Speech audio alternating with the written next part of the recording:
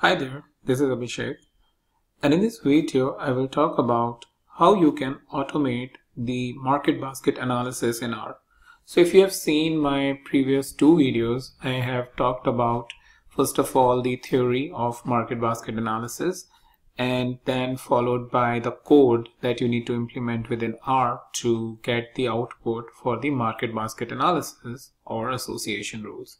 Now in this video, we want to take a further step and think about uh, how we can automate it within the R using the Shiny as a web application development framework.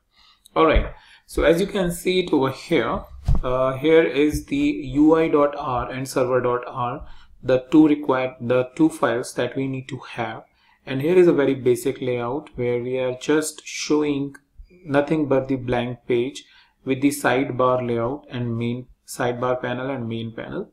And within the shiny server we are just having the syntax so that we have the right uh, web page setup or the data product page setup for our shiny application. So currently if we run this there will be nothing but just a simple page right? And it will not show you anything. So that shows that whatever we have uh, developed as a layout or a application as a minimum syntax is working fine all right so let's let's go ahead and uh, do some of the uh, some of the market basket analysis so for that, first of all, let's go into the Shiny server because that's where all the results need to be processed. And what we need to define is the output. So output dollar and here in this case let's say it MBA which is market basket analysis. You can choose whatever you need uh, which is more meaningful to you. And uh, then you will say render print because market basket analysis output is basically a print output. So if you will use any other thing like render table render text it will not going to print it. Well i faced this situation and i figured it out that render print is basically working fine with the market basket analysis. All right now let's go ahead and take a next step which is uh, getting the rules from the uh, apriori algorithm. Well to have this uh, you have you need to import the library which is uh, arules here in this case. So I have imported it and within the apriori we are we will be using the inbuilt groceries dataset which comes with the arules package. So groceries here in this case. So this is by default present in the arules package. So groceries. And we need to define the parameters. Parameters here in this case within the list. And within the list you need to say support is equals to how much is the support. Let's say 0.001 because we have seen in the previous examples that 0.001 is basically working fine and which means 0.1% uh, transactions placed. so and if you want to know more about the theory look at my previous video about support and then confidence. And for the confidence you will say let's say 80% and that's why I'm specifying 0.8 here in this case. And after this we just need to use the second command which is inspect rules. With this we have uh, almost achieved around uh, 80 to 90 percent of the objective where we want rules to be created and rules to be printed so that end user can see it Alright, let's run this for now and see the output. Well, it will not show you. And why? Because we have not defined anything in UI.R. So in the main panel, we will define um, verbatim text output. This is the uh, function to display the uh, print, the render print output that our apriori algorithm is generating. So that is verbatim text output. And within that we need to specify the object MBA that we are giving it over here this MBA alright that's the simple thing that we can do. And let's try run the app let me stop the previous instance and run the app again. So it is saying that it could not find maybe I just um, enter the correct one. So let me put a question mark. Verbatim text output. So everything looks fine over here. Actually not. If you see ver i just had extra t. Now it is fine verbatim text output. That's a quick way of checking whether you have write anything proper or not. All right let's save it. Stop the previous instance and run the app. So here you have your market basket analysis printed.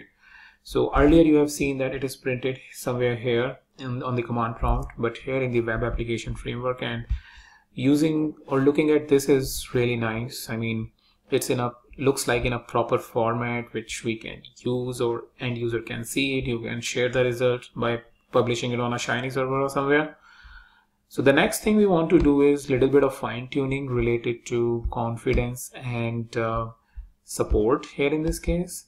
And we want to give a flexibility to the end user where the person can change the support or confidence and accordingly rules needs to be republished. All right. So let's go ahead and see how we can do that. So first of all, we need to define the control here in this case and maybe uh, uh, and we need to use the sidebar panel where we usually put all our controls. So here in this case, let's first use the select input which will display you the drop down box. Give it a name, let's say SUP to give support. Uh, we will say select the support value and we will write choices is equals to so maybe 0 0.1 0 0.01 maybe 0 0.05 point comma 0.001 and maybe uh, 0.005 let's say we are fine with that at least for this for now. So we have defined the first input box. So let me drag it a little bit to the right so that you can see it. So select input is fine. After putting a comma we will again say select input and now in this case confidence and we will say select the confidence. And maybe I just don't need to write value that's like a long sentence that I want to write. And generally it is not a good practice.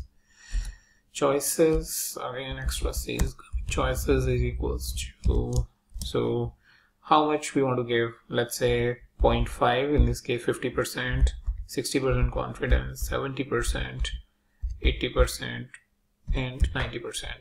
So 0.5 650 60 70 yeah, here is a mistake. Quick corrections 80 90 all right once we have this we need to supply these parameters thus sup and conf here in the list so if we write input which is this input taking the input from ui.r input dollar sup by as you can see it identified the parameter input dollar conf that we defined here in the UI. So once we save this, we will run by stopping the previous instance and we will run the application. And now it is showing us an error and the error is assignment of an object of class character is not valid for at the rate confidence in the object of a parameter class. Value numeric not true. So that is very easy to interpret that uh, something that we are passing to our support and confidence is basically needs to be numeric. So let's convert it to as dot numeric. And same is for confidence as dot numeric. And let's close the extra packet afterwards. Let's hit the save. Stop the previous instance and run the application again. All right. Now you can see uh, default values are the first values the 0.1 and 0.5 and nothing is getting displayed. Now let's change it to maybe 0.01 all right you have some results. That's good. Uh, let's change the confidence to 0.6 nothing is coming up. 0.7 all right nothing is coming up but 0.5 you have some rules out there. Let's change it to 0.05 all right nothing is there. 0.001 and for 0.001 you have a lot of rules over here. All right so somewhere around 5 6 8 8 rules. Maybe you want to increase the confidence let's say 90 percent and now you have only 120 rule 29 rules. So basically the idea is that you can play around with all of these different parameters which is confidence support as well as minimum length maximum length all of those things sorted out uh, in a similar way how we have done it in in our previous video and make your analysis more and more automated. So here you are giving your end user all of the information which he is really looking and you are giving at least these two controls but you have the uh, flexibility of giving more controls and things like uh, if the person really wants to look at uh, specific object on left hand side or right hand side we have covered that in the previous video where we wanted to see all the rules which was related to the whole milk and we put it on the left hand side. So here also uh, it's it's just the uh, case of playing with the parameters. If you define the parameters in a right way within the apriori algorithm you will get the desired output and the very good flexibility for your end user.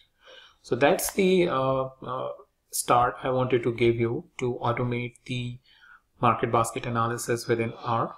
And I'll leave you with uh, enhancing more and more. And do comment it out if you find something interesting or some some good development out there with the help of fine tuning or automating more parameters.